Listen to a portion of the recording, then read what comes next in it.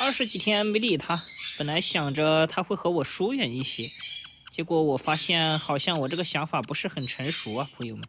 以前放出来还稍微要腼腆一点，至少要和他玩一会儿，他才会向我发出踩背的邀请。今天就这样直接开始了，可能是太久没有见我了，对我太过于思念了。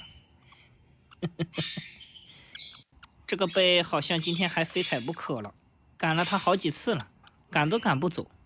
每次跳上来就立马开始摆造型哦，不是说虎皮特别容易反神吗？我这次特意这么长时间没理他，哎，怎么现在还变得变本加厉了嘞？你们看这副嘴脸，从他这个眼神里我就看出了一种东西，叫做渴望。难怪今天这么热情，非要邀请我踩背，这肚子里面是有蛋了呀！窝里也没有看到蛋。说来也很奇怪哦，我都没怎么和他互动，这是哪里来的冲动呢？还要生蛋？而且你们看他这个样子，很享受我这样摸他呀。如果现在我把它丢地上，他会怎么办呢？还没反应过来。哎，这下应该反应过来了。带他看看风景，看能不能转移一下注意力。这一直目光都锁在我身上，看得我都有点不好意思了。好像作用并不是很大哟。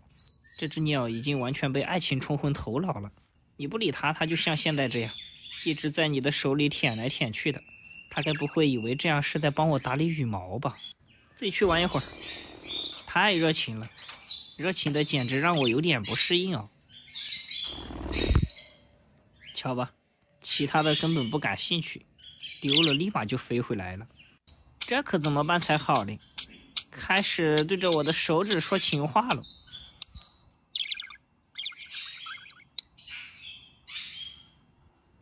还跳上舞了。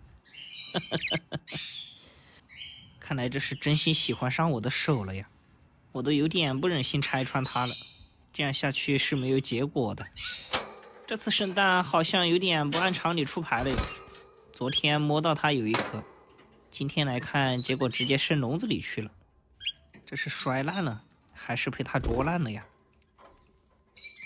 哟，这还粘笼子上了，都干了，蛋清流完了，只剩下蛋黄了。来，来福，便宜你了，这剩下的可全是精华哟。手上还有，给我舔一舔，把我手舔一舔啊，小子！嘿。